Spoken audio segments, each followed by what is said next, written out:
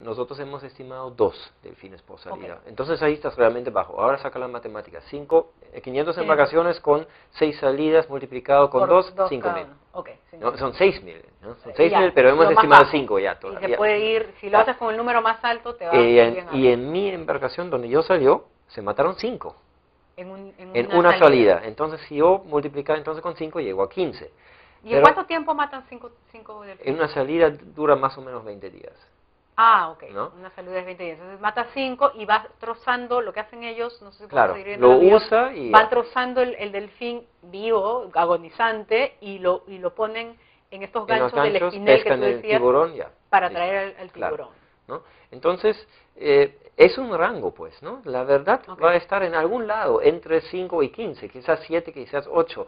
Este número realmente a mí no me importa, ¿ya? Porque no importa si son 6, 7, 8, 550, ¿qué importa? Es, es, una masacre, igual es, una masacre. Eh, igual es una masacre y igual es ilegal. Igual es ilegal. Es un crimen ecológico, simplemente, ¿no? Eh, ¿Cómo se te dejaron filmarlo? ¿Qué, qué, qué...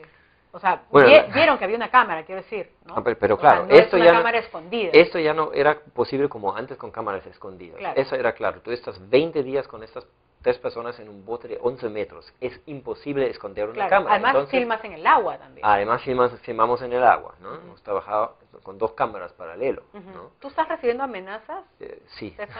¿De parte de qué grupos? No, no te lo puedo decir porque están empezando las llamadas. o no? No, no, están empezando las llamadas. ¿Qué, te, como, ¿Qué cosas te dicen? insultos están empezando. eso ya conozco de otros trabajos. Cuando hemos luchado contra el puerto de Ancón también empezó así. Después ya se ponen más, más fregados. ¿no? Ahora, pero eh, eh, te quería decir eh, otra cosa. entonces, ¿cómo, me has preguntado cómo hemos hecho, ¿no? Sí. Mira, hemos hecho un contacto mediante, con un pescador amigo que fue el interlace, ya para generar confianza. Y después les hemos contado que somos un equipo de filmación del extranjero, ¿ya? que sirvió que soy alemán, ¿no? y le hacemos una película sobre la aventura de la pesca de tiburón y, su vida a bordo, y etcétera, etcétera. Nos gustaría que ellos sean nuestros héroes de la película y les hemos dicho, sabemos que hay ahí un problema con los delfines, pero si fuera así, no se preocupan porque sus caras desaparecen y los matrículos desaparecen y es para el extranjero, entonces ¿qué importa? Y bajo esto nos han permitido hacer un documental, hemos, y obviamente durante pues todo el viaje tuvimos que mantener la historia, entonces hemos filmado ellos cocinando, ellos reparando las redes, todo. Pues, bueno, es, como todas las técnicas que se utilizan para hacer investigación. Así es, pues, investigación. Claro, ¿no? entonces este, no es nada anormal. Claro. Y, ellos han hablado libremente de su pesca, no les hemos forzado a decir las cosas, eh, les hemos hecho preguntas y han respondido, y todo fue coherentemente indicando que eso es su vida normal. del 13 de septiembre hasta creo que 4 de octubre. Ok, del año pasado. No, de este año. Ah, perdón, de este año, claro. Del 13 de septiembre al 4 de octubre. Ok, entonces, ¿qué ha pasado con, desde, desde, que tú has hecho esta denuncia pública, digamos, el, el, aspecto positivo? ¿Cuál ha sido la reacción tanto por parte del gobierno, Ministerio de Ambiente, eh, este, produce. Eh, bueno, las reacciones son muy diferentes, obviamente. El Ministerio de Medio Ambiente eh, ha recibido la noticia con, con muy buenos ojos, con, con agradecimiento que tenemos, que hemos hecho esta, esta cosa, hemos puesto esto a la luz.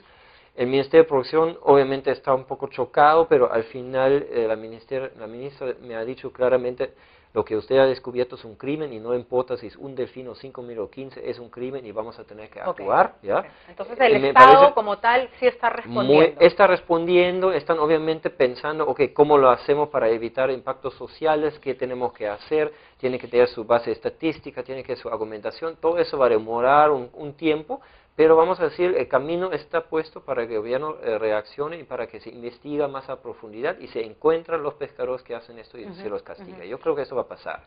¿no? Obviamente, por lado de los pescadores eh, que están involucrados en la pesca artesanal eh, y en la pesca de tiburón, Ahora viene eh, poco a poco la, defensa, eh, los insultos, ahora ya soy el contraataque. claro, el contraataque, soy un difamador, un enemigo de la patria y, bueno, todo. Tú no, lo tú no puedes ir a meterte al mar a donde grabaste, eso sí está clarísimo. Sí, yo tengo que tener pero, cuidado. Pero bueno, es el sacrificio que tú, que tú estás haciendo Eh, Era la única manera de, despertar a la gente de realmente tener sus imágenes filmadas. ¿Y, te sientes satisfecho, te sientes contento? Porque sé que llevas muchos años en esto y es un trabajo de mucho esfuerzo. Y... Mira, te lo voy a decir honestamente, yo he trabajado 10 años tratando de, de, capturar juntas con la policía estas personas que venden los delfines. Yo he visto los delfines por todos los lados destrozados, cortados en las playas, los restos, y siempre he sentido mucha impotencia de poder resolver este problema. Eh, y, y, cuando descubrimos esto pensaba primero que es una cosa pequeña, y después nos dimos cuenta que es un problema generalizado mucho más grande. Y en, en ese sentido yo estoy muy contento que hemos logrado de publicar esto, que hemos logrado despertar atención. Y estoy muy contento que el gobierno en este momento está empezando a hacer tomar realmente pasos reales, porque yo creo, si seguimos así, quizás todavía en unos 3, 4 años voy a poder decir, lo hemos logrado, ya no se matan delfines en este país. Y eso sería realmente un regalo muy grande para mí mismo. Esa es la idea porque hago ese trabajo. Un par de últimas cosas. La reacción internacional, ¿se está comparando las matanzas de delfines en Perú con matanzas? Definitivamente el, Perú en este momento, en su imagen, y eso es un daño eh, colateral lamentable, ¿no? pero es así lamentablemente, porque es la realidad. el, mundo ve al Perú ahora igual a Japón y en mi punto de vista... Con la matanza de las ballenas. Con no, matanza de los delfines. Ah, los japoneses también matan eh, una igual cantidad de delfines en sus aguas nacionales, ¿no?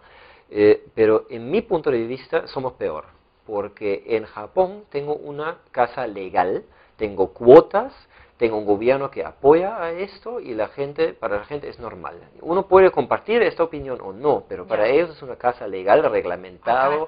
y acá estamos hablando de gente que están haciendo algo ilegal. ¿Y esto sucede a lo largo de toda la costa o del Perú o en algunos lugares más que en otros? A ver, la flota está repartido entre toda la costa con un eh, fuerte parte en Hilo, eh, otro en, en Chimbotro, otro en eh, Paita, en Pucusana, Ancón es otro, ¿no? Pero, en fin, esas embarcaciones cambian de puerto a puerto según años, según corrientes, y van por arriba, por abajo. ¿Y el perfil de quien se dedica a esto? ¿Quién es? Si me permites decir, y también en los países vecinos, Colombia, Ecuador, hay reportes que esto existe, pero ahí nadie todavía lo ha hecho eh, llegar a la luz como acá, ¿no? Pero definitivamente acá tenemos un problema a lo largo de toda la costa. ¿Y el perfil de quien realiza estas matanzas? ¿Que son pescadores eh, artesanales, informales. Es, una flota artesanal de, la cual seguramente buena parte es informal, ¿no? Eh, pero no son los pobres eh, que, no, que no saben cómo comer, son gente que son microempresarios, vamos a decir, que, que, actúan por su, por su cuenta, ¿no? Y que y realmente, mira, solo te puedo decir, si el capitán de la embarcación me describe la casa del delfín con las palabras que la casa del delfín es bonito y divertido, entonces ya no tengo más comentarios que hacer. Mm. Estefan, muchas gracias por lo que estás haciendo aquí en el Perú, que sé que te ha acogido en todos estos años, pero tu trabajo es este, difícil y, y, qué bueno que, finalmente hayas podido lograrlo. Gracias. Gracias. Todavía tenemos mucho por adelante. Sí, sí, pero es un buen comienzo. Regresamos. Gracias.